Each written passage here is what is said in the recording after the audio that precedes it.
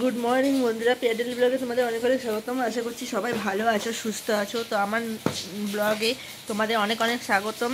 তো আজকে মরশুমের বৃষ্টিটা আমি তোমাদের সঙ্গে শেয়ার করি। ফার্স্ট খুব খুব বৃষ্টি হচ্ছে। আমার বেরোনো যাওয়ার কথা ছিল বাট বেরোতে পারলাম কারণ একটু বাজারের দিকে যাব ভেবেছিলাম। তো বাজারের দিকে যাব ভেবেছি কারণ ওপরের দিদি যে আমি বলা হয়নি যে আমাদের ওপরে যে থাকে, তার শাশুড়ি মারা গেছে। তো কিছু কেনাকাটা বাকি আছে, একটু ফল টল, তারপরে একটা শাড়ি কিনবো কারণ কাজের জন্য। তো এগুলোর জন্য আমি বেরোবো ভেবেছিলাম, কিন্তু বেরোতে পারলাম না। খুব বৃষ্টি হচ্ছে, এর মধ্যে বেরোবো কী করে আমি জানি না। তাই জন্য আমি বেরোতে পারলাম না। তো চলো ঝটপট করে আমি আজকে কাজ বলতে রান্না বান্না বলতে তোমরা জানো যে যেহেতু আমি একই বাড়ির মধ্যে থাকি তাই জন্য আমি মাছ, মাংস, ডিম কিছু তুলছি না। তাই জন্য নিরামিষই খেতে হচ্ছে। তো নিরামিষের মধ্যে বা আমি বাইরে থেকে বেশিরভাগ সময় খাবারটা নিয়ে নিচ্ছি। তো এসছি তো দুদিন হলো। তো বাড়ির কাজ কর্ম সেরে মেয়ে পড়তে যাবে যাবে করে জানি না এখন বৃষ্টি কমুক, দেখা যাক কী হয়, না হয়। তারপরে কোনো কথা হবে। তো আমি এখন রুটি টুটি খাওয়া হয়ে গেছে। রান্নাটা কি করব ভেবে পাইনি। কারণ ইচ্ছে করছে না, বৃষ্টি দেখে একটা কুড়ে কুড়ে মনে হচ্ছে। জানো তো সব থেকে বড় কথা। তো জন্য আমি এই চুপচাপ করে বসে আছি, ভালো লাগছে না। তো তোমাদের বলেছি যে আমি আমার এই জায়গাটা দেখাবো। তো ইচ্ছে আছে বৃষ্টিটা কমুক। তো একদিন আমি বেরোবো। কবে বেরোবো? বাজার যেদিন যাব। কালকে আমাদের এখানে মার্কেট বন্ধ থাকে তাই জন্য কালকে যাব না। আমাদের, আমার লাগবে হচ্ছে জিনিসপত্রগুলো। বৃহস্পতিবার। তাই আমি তোমাদের সঙ্গে মার্কেট প্লাস বাজার, হাট, সমস্ত কিছু জায়গা কবে শেয়ার করব? পরশুদিন নাইটে কারণ সেই ব্লগটা আসবে তোমাদের কাছে পরশুদিন আমি সারাদিন যেটা করব, সেদিন নাইটে বা বুধবার দিন সেদিন তো আমি তোমাদের সামনে নিয়ে আসব। আর আজকে তোমাদের তো শেয়ার করছি যে বৃষ্টিটা আমার খুব ভালো লাগছে, মনে হচ্ছে যেন বৃষ্টিতে ভিজে আছে, কিন্তু নিজে ভিজে ভিজে আছি গলা টলাগুলো বসা আছে, তাই জন্য আমার গলাটা বসে গেছে। তো বন্ধুরা, তোমাদের সঙ্গে আমি একটা জিনিস শেয়ার করতাম তোমরা আস্তে আস্তে আমাকে সাপোর্ট করছ।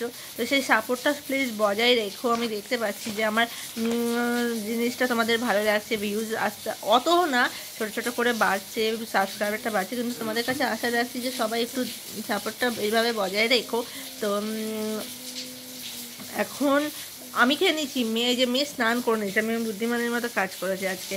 স্নান করে নিয়ে তো বসে আছে। তা আমি এবার বলি কি বলতে এলাম, এখন তো বৃষ্টির মৌসুম ধরো, ছাতা তো অনেক কষ্টে আমি বের করেছি, তো জন্যই আর কালকে তোমাদের সঙ্গে যেটা শেয়ার করলাম, আর আজকে শেয়ারের মধ্যে এই যে শরীরটা বলতে, তোমরা জিজ্ঞাসা করবে মানে শরীরটা যদি জিজ্ঞাসা করো, তা অনেকটা ভালো আছে, কিন্তু গলার আওয়াজ মাঝে মধ্যে কোথায় চলে যাচ্ছে, তার কোনো ঠিক নেই, বসে যাচ্ছে মানে কান মাথাগুলো ব্যথা করছে। এই এই শরীর খারাপে এটা হচ্ছে সবার। তার কিছু নেই। আর মেয়ের এক্সামও সামনে। তো এরকম বৃষ্টির মধ্যে কালকে স্কুল যাবে, কি করে কি জানি। তাই জানি না কি করে যাবে। সামনের মাসে তো Poila Boishakh sale market sale চলছে। তো ওর একটা জামা নেব, দেখি এখন নেব না। সামনের মাসে জামা নেব, ইচ্ছে আছে একটা। তা। আর ভালো লাগছে না, বসে বসে যা যাতে ইচ্ছে করছে তোমাদের সঙ্গে। তাই তোমাদের সঙ্গে বক বক বক বক করতে একটু কথা বলতে বলতে গলা বসে যাচ্ছে।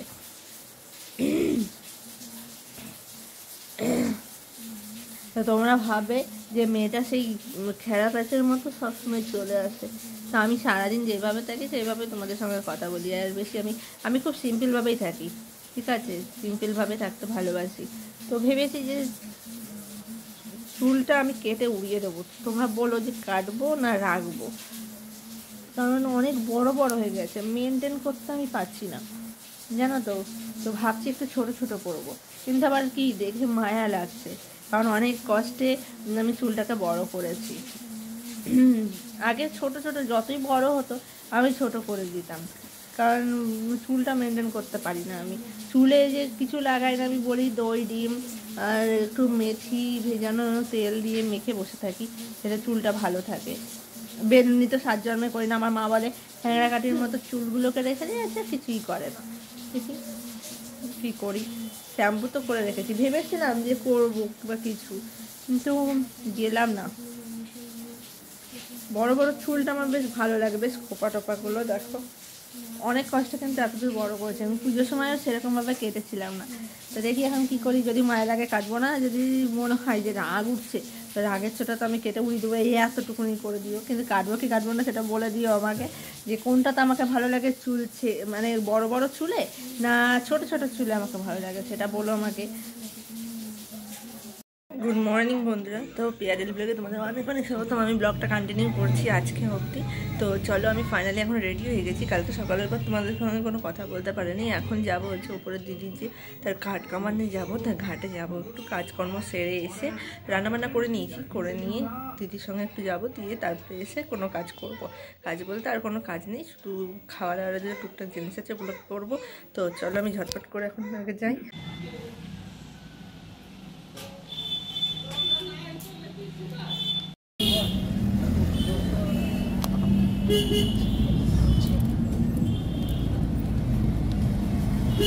নিউ জায়গায় এসছি।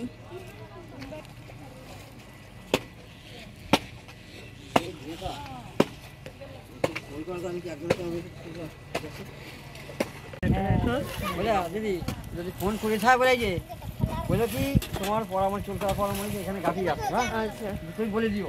আচ্ছা। দেখো।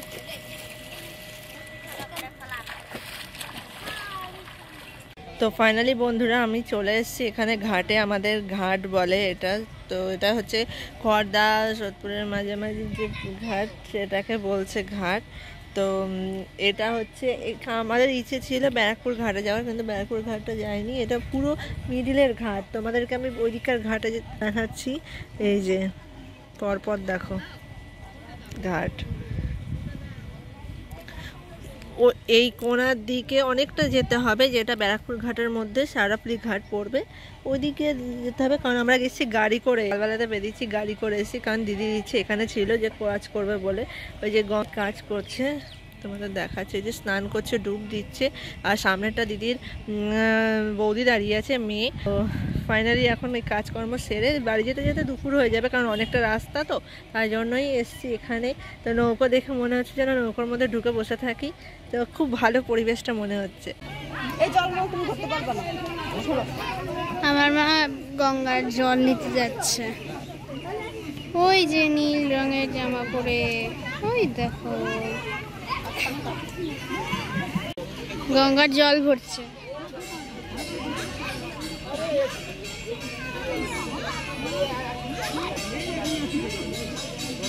ফুল নিয়ে গেছিস। ফুল? একটা সুন্দর মন্দিরে এসছি। পরিবেশটা দেখি পরিবেশটা এত সুন্দর যে আমাদের ঘাট মন্দির। এখানে সারদা মা এখানে রামকৃষ্ণ দেব। এই যে ঘাটটা এই যে মন্দিরটা।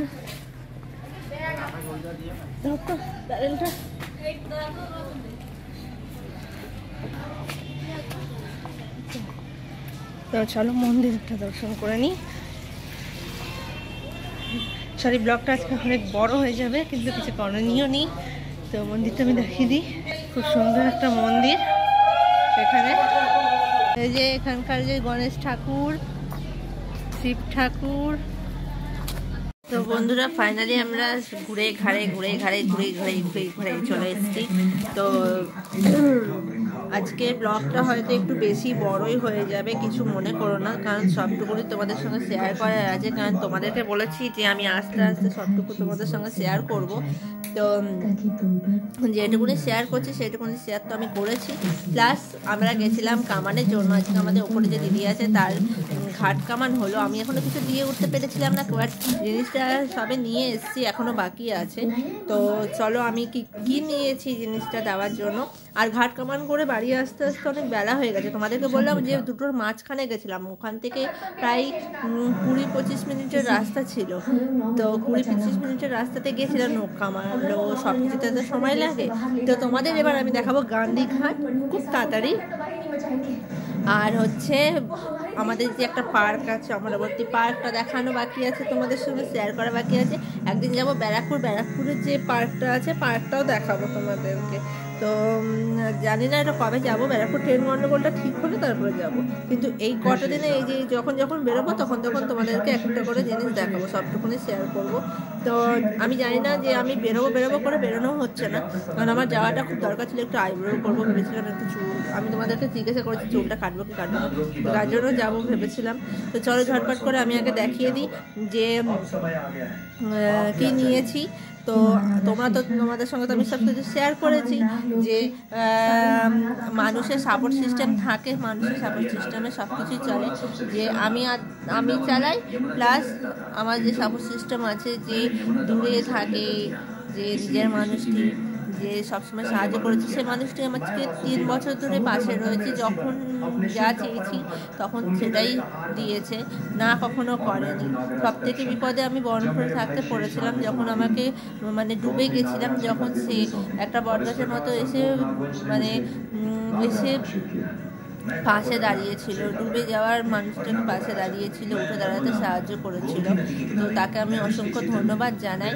তো হাজব্যান্ডে যাওয়ার পর থেকে সেই মানুষটাকে ভগবান তুল্য হিসাবে দেখা যায়, আমি তাকেই বলি। তো আমি নিয়ে নিয়েছিলাম, আমার বন্ধুদের কাছ থেকে আমি হেল্প নিয়েছিলাম, সেখানে একটু ফেঁসে গেছিলাম। তো ফেঁসে যাওয়া বলব না যে একটু প্রবলেমে পড়েছিলাম। তো সেই মানুষটা আমাকে বড্ড সাহায্য করেছিল, আমার মেয়েকে বড্ড ভালোবাসে। তো বাবার মতো বাবার মতো বলব না, পুরো বাবাই। ঠিক আছে। তো সেটা বলতে আপত্তি নেই। কারণ যে পালন করে, সেও বাবাই হয়। তো ডাকটা হয়তো তোমরা ভাববে যে না, কিন্তু হ্যাঁ প্রকৃত অর্থে এখানে, প্রকৃত অর্থে তাকেই বলা যায়। কারণ সত্যি কথা বলতে প্রচুর সাপোর্ট করে, প্রচুর সাপোর্ট করে। তো, তোমরা যদি বলো, তো আমি তার, সেই ব্লগটাও সেই কন্টিনিউয়াস ব্লগটাও আমি খুব তাড়াতাড়ি আনব। চিন্তা করো না যে বট গাছ হোক একটা ভালো মানুষ হোক যে যে সাপোর্ট করছে যে পদে পদে সাহায্য করছে মানে সত্যি কথা বলতে যে ভালো আছি ঠিক আছে? নাহলে তো আতালে পাতালে চাতালে ঘুরে বেড়াতাম। যেমন বহরমপুর থাকলেও ভালো লাগে কিন্তু হ্যাঁ আমার এতটুকু ইচ্ছাপুর ভালো লাগে না কিন্তু এখানে পড়ে থাকি। পড়ে থাকি না এখানে তো থাকি না তোমরা জানো আমি চলে যাই যে বাপের বাড়িতে। কিন্তু হ্যাঁ তিন বছরে যে বটগাছটা আমাদের সাহায্য করেছে, সেই বটগাছটা আমাদের সঙ্গেই রয়েছে। খুব খুব উপকার করেছে। সে সে অনেক দূরে থাকে, বলব সাত সমুদ্র দূরে থাকে। তো ওয়েস্ট বেঙ্গলের বাইরে থাকে। সাহায্য করেছে, আমাদের প্রচুর সাহায্য করেছে। কি বলতো, সংসার। সংসারের সাপোর্ট সিস্টেমটাই তো দরকার না, খুব। আমি এখন কিনলাম তাহলে তোমাদের সঙ্গে শেয়ার করিনি তোমাদের সঙ্গে তো সব কিছু শেয়ার করছি। তো তোমাদের সঙ্গে সব কিছু যখন শেয়ার করি, তাহলে এটা শেয়ার করি। চাদর নিয়েছি। তাই বিছনার চাদরটা নিয়েছি। এই খুব লাইট কালারটা নিয়েছি লাইট কালারটা ইউজ করে। তো আমি আমি ভেবেছিলাম যে ব্যারাকপুরের দিকে যাব যখন, ব্যারাকপুর থেকে নেব, কিন্তু ব্যারাকপুর থেকে নিলাম না। বাজার থেকে নিয়ে নিলাম। তো এটা নিয়েছি এখান থেকে। আর সবটা আছে যে এই কাজটা মিটে গেলে চা। তো আমাদের কারেন্ট চলে যাচ্ছে আর আস্তে আস্তে যাচ্ছে। তো এইটা যেহেতু একটু ভেতর সাইড পড়ছে, তোমাদেরকে বলে রাখি যে পুরো একটু ভেতর সাইডটা পড়ছে, তাই জন্য তোমাদের হয়তো আমি টাউন সাইডটা দেখাতে পারছি না। আমরা কিন্তু উল্টো রুটে আছি, খুব, আমার খুব ইচ্ছে আছে খুব তাড়াতাড়ি একটু দক্ষিণেশ্বর যাওয়ার। অনেক দিন বলেছি যে যাব যাব করে, কিন্তু যাইনি। ওই সাইডটা যখন যাব, তখন হচ্ছে তোমাদেরকে সব কিছু শেয়ার করব। তো চাদরটা কেমন হয়েছে আর কালকের ব্লগটা তো দেবো অবশ্যই যে কাজে কাজে হ্যাঁ যাব বাট খাওয়া দাওয়া করব না, কারণ আমি খাওয়া দাওয়াটা করি না খুব একটা। তো চাদরটা কেমন হয়েছে বলো? ব্লগটাতে তোমাদের সব কিছু শেয়ার করছি, সবাই সব কিছু দেখো।